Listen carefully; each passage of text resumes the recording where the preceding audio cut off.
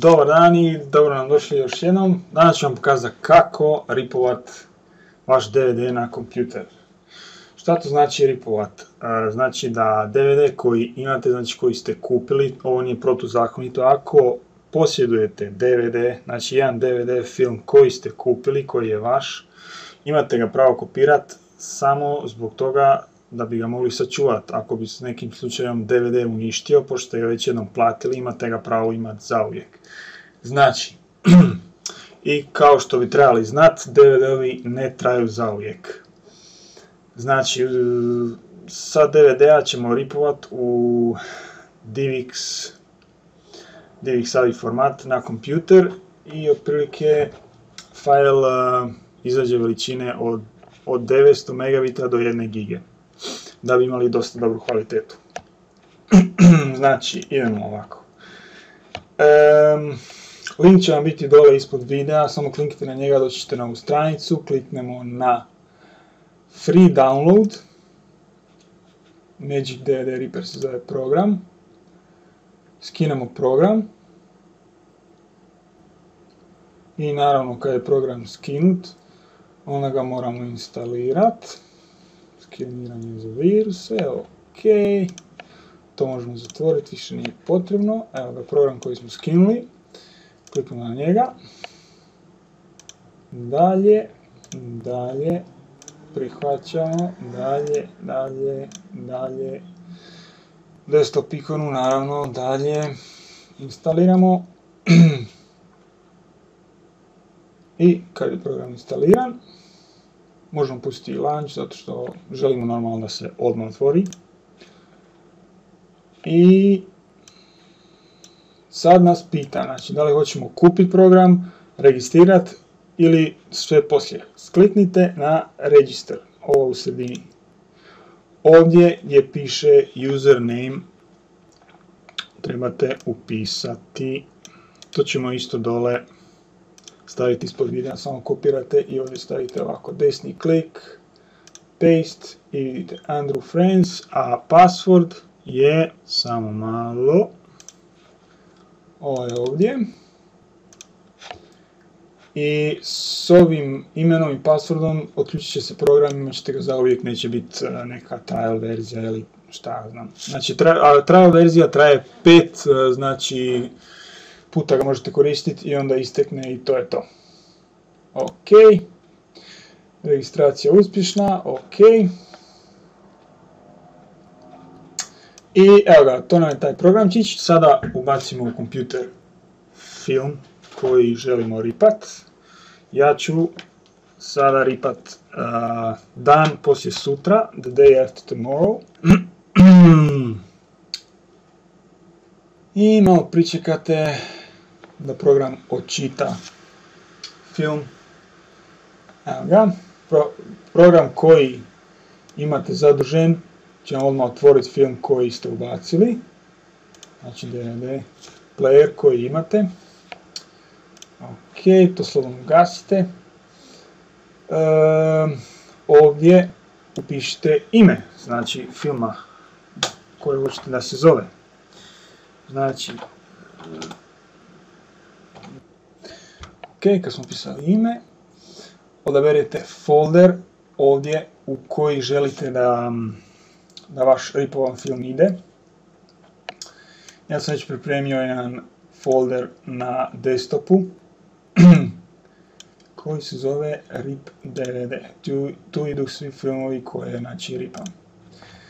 Onda, ovo je znači iz kojeg čitača čitam film ako imate više čitača, morate odabrati znači, s kojega ide film. E, prvo odaberemo AVI format, onda na ključić, onda ovdje moramo staviti, odabrati Corp 2 2.35.1, rezoluciju treba namjestiti 680 puta 340. Ovo su rezolucije koje meni pašu za moje ekrane, za moju televiziju. Ako vama nešto ne paše, možete si slobodno ovdje zamijeniti, ali ako ne stavite ovu rezoluciju, dobit ćete crne linije ili na gornjem dijelu ekrana ili sa strane ekrana i meni je trebalo 20 minuta da nađem točno koliko šta, tako da najbolje da ostavite ovako kako je. Uh, bitrate može ostati 1200, ja stavim 1150, tako da bi file bio barem malo manji. I to je to. Sad kliknemo na start i ripovanje je počelo. Ovdje vam odmah piše koliko dugo treba da film bude gotov, znači za koliko dugo će biti ripovan.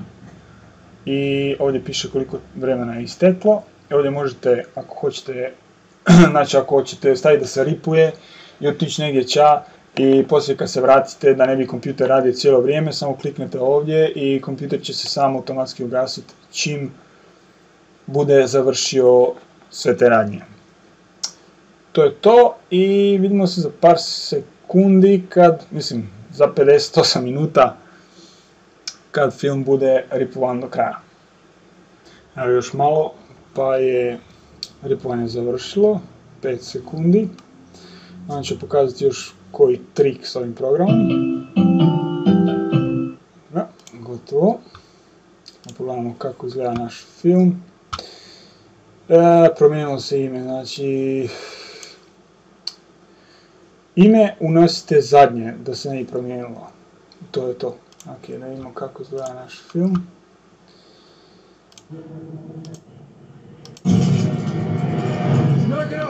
Super. To je to. Ok. Sada ćemo pokažiti još jedan mali trikić s ovim programom. Prvo izvodimo. Otvorimo program jednom. I otvorimo program još jednom. Znači, dva puta ga otvorimo. Ovo možete e, raditi samo ako imate dva čitača ili dvije pržilice. Ja ću sad ubaciti, u gornju pržilicu ću ubaciti film Poratak u budućnost 1 i u donju ću ubaciti Poratak u budućnost 2. E, kompjuter bi trebao biti malo jači, znači procesor bi trebao biti malo jači, barem, barem petisu bi trebao imati ocjenu. Imam dual core quad, Intel, Intel quad duo quad core. Ok. znači, kad se filmove čitaju, i jedan i drugi, naravno, otvorit će se naravno ovaj program koji nije potreban, nam pokazuje koje film ima, bla bla bla. Znači, e, ovdje ću odabrati da mi radi prvi dio. Ovdje ću odabrati da mi radi, moramo refreshat, znači kliknemo na ovu malu ovdje refresh. Eto ga. I odaberemo dvojku. Znači drugi film. E, ako želite, možete staviti i subtitles, ja inače to ne stavljam. Ja stavljam bez subtitlesa, mi su potrebni, uglavnom nije bitno.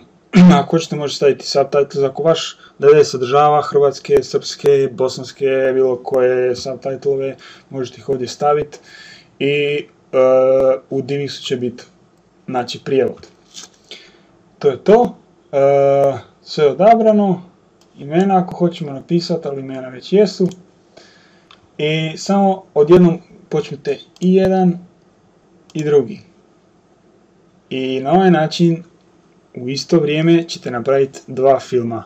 To je ako, na primjer, imate desetak, 20 filmova koje hoćete ripovat, ovako ćete ih duplo brže završiti.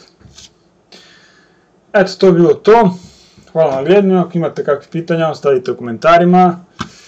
Ako vam sviđaju naši videi, subscribe se, naravno, preplatite ono žuto dugme gore, znači to je to i hvala na gledanju i doviđenja do sljedećeg puta.